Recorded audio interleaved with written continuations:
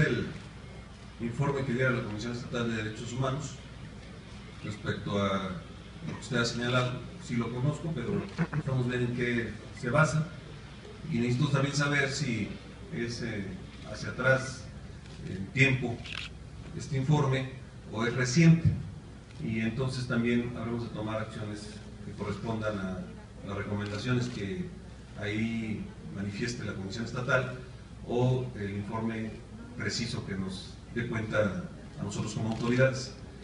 Y pues eh, el evento de hoy es eh, consecuencia de lo que desde ayer sucedió, un eh, desencuentro entre estos grupos y que por supuesto hemos venido trabajando en la conciliación, pero también en la acción que debe tomar el gobierno en caso de que se tengan elementos para tomar alguna acción desde el punto de vista del gobierno del Estado, de la Procuraduría Estatal o desde el ámbito federal eh, en contra de alguno de los que forman parte de estos grupos eh, denominados autodefensas.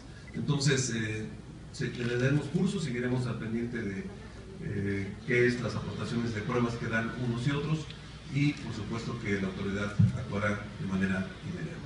Muchas gracias.